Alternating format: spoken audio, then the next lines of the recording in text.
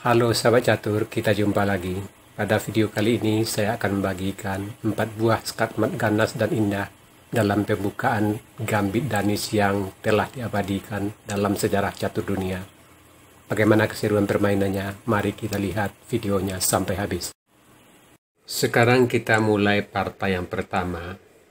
Dimainkan tahun 2003. Putih dipegang oleh George Smith dan hitam oleh Peter Naumann. E4 E5 D4 E pukul D C3 inilah yang dinamakan dengan gambit Denis atau gambit Danis. Putih sengaja mengorbankan sepidak untuk mencapai perkembangan yang lebih cepat. D pukul C gajah C4 gajah B4 gajah pukul bidat skak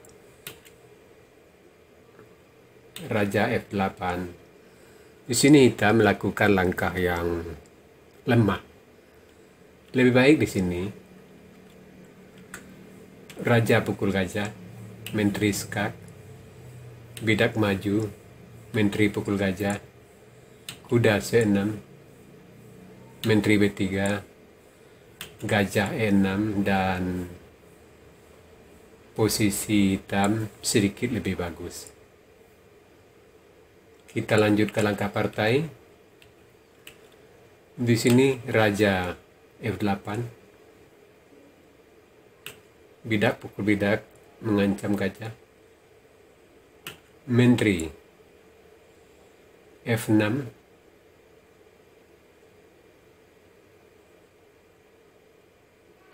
gajah B3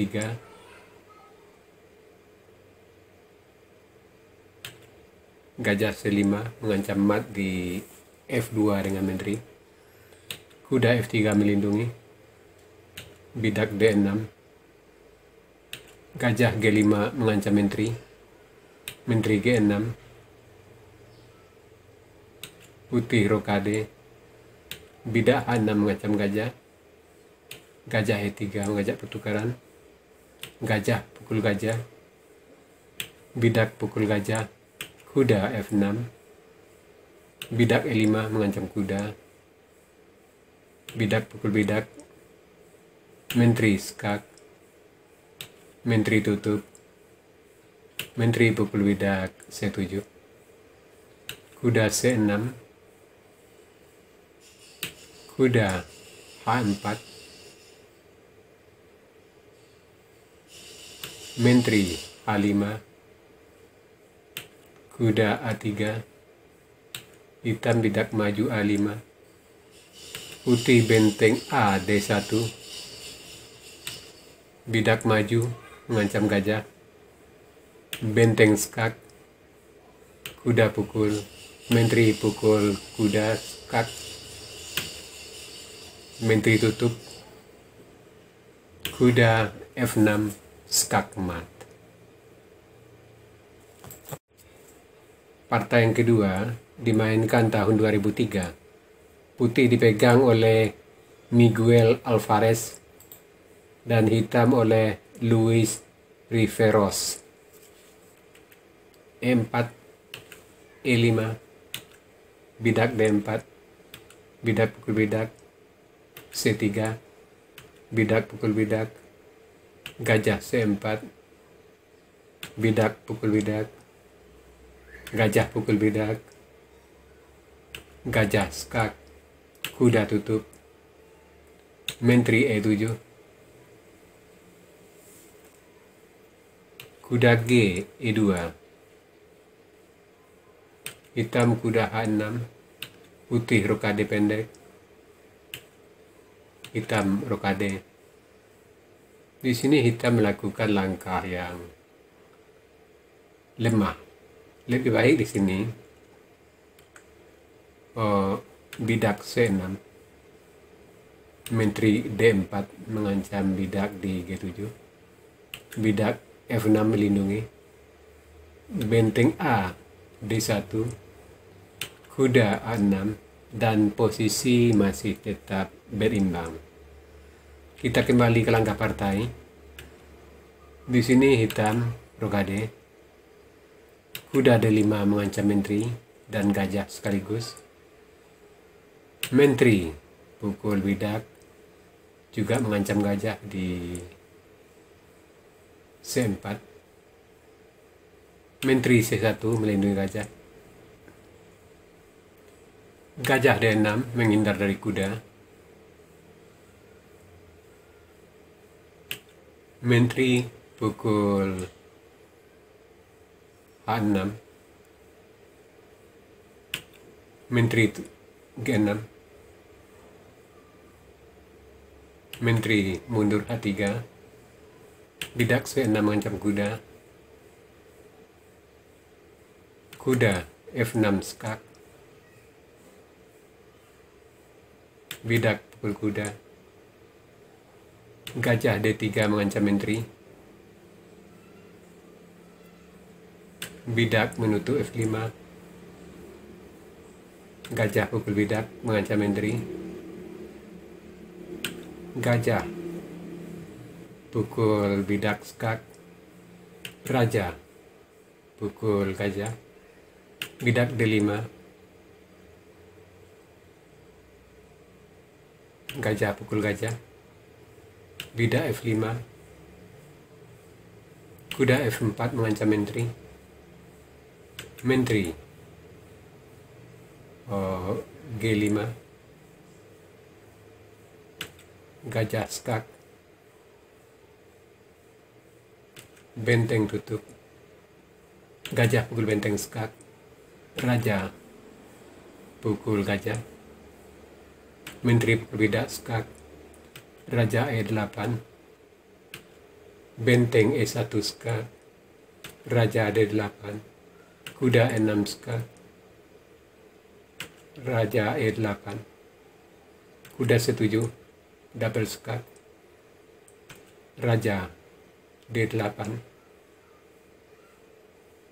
Benteng E8 Skak Mat Partai yang ketiga dimainkan tahun 2003. Putih dipegang oleh Mikael Dittmer dan hitam oleh Jessica Zhu. E4, E5, D4, E pukul D, C3, D pukul C, gajah C4, bidak pukul bidak, gajah pukul bidak, kuda F6 mengancam bidak, Kuda C3 melindungi. Gajah B4 mengikat kuda. Kuda G E2 melindungi. Gajah pukul kuda skak. Gajah pukul gajah. Bidak D6. Putih rokade. Kuda pukul bidak. Di sini kita melakukan langkah yang lemah. Lebih baik di sini. Hitam rokade. Kuda G3. Kuda BD7. Benteng C1. Bidak B6 dan posisi hitam tidaklah sejelek yang di partai. Kita kembali ke langkah partai. Kuda pukul bidak Gajah pukul bidak skak Raja F8 Gajah B2 Gajah G4 mengikat kuda. Bidak F3 mengancam gajah. Kuda G5 mengancam gajah. Bidak pukul gajah. Kuda pukul gajah Menteri D5 mengancam mat pukul kuda di F7. Menteri E8 melindungi. Benteng pukul kuda skak. Raja F8 G8 benteng. F5 open skak menteri tutup. Menteri pukul menteri skak mat Partai yang keempat dimainkan tahun 2003. Putih dipegang oleh Ronald Scott dan hitam oleh Mahesh Umapatis Sivan. E4, E5, D4, E pukul D, C3, D pukul C, gajah C4, kuda F6, kuda pukul bidak, gajah B4, Bida E5 macam kuda kuda E4 menteri D5 mengancam mat di F7 kuda G5 melindungi. Kuda F3 bidak C6 mengancam menteri. Menteri D3 kuda pukul kuda skak. Menteri pukul kuda sambil mengancam mat di F7 Menteri E7 melindungi. Putih rokade hitam rokade gajah F4 bidak B5 mengancam gajah. Di sini kita melakukan langkah lemah lebih baik di sini bidak D6 mengajak bertukar bidak bidak pukul bidak gajah pukul bidak Benteng F E1 mengancam menteri Gajah tutup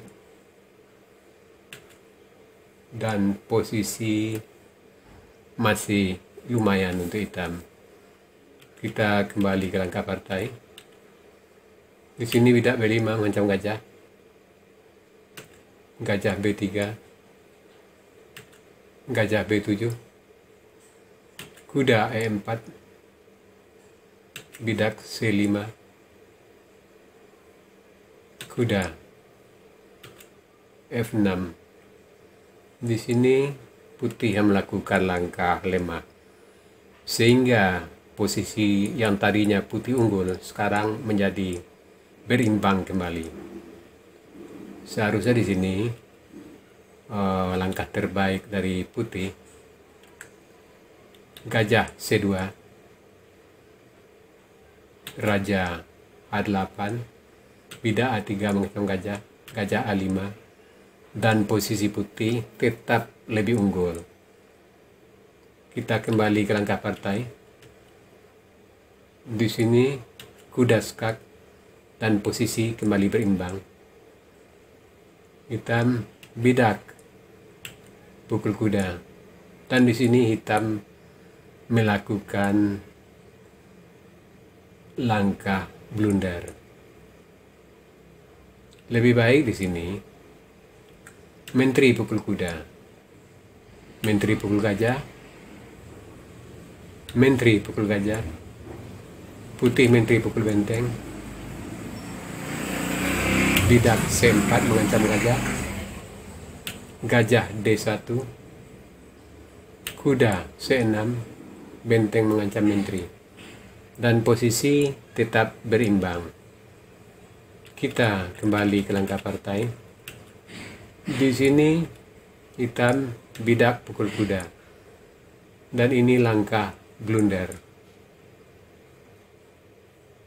Putih menteri skak.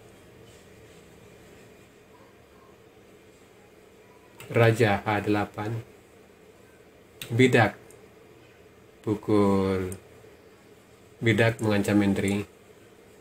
Menteri E4 menteri G7 skakmat sahabat catur itu tadi empat buah partai skakmat paling ganas dan indah dalam pembukaan gambit danis semoga partai-partai seperti ini bisa menambah wawasan kita dalam bermain catur sekarang kita masuk sesi puzzle. Tema puzzle kita kali ini pas pound atau bidak bebas. Silakan cari langkah terbaik hitam di sini dan berikan jawaban Anda di kolom komentar. Untuk jawaban yang benar, saya akan mengepinnya agar sahabat catur lain juga akan mengetahuinya.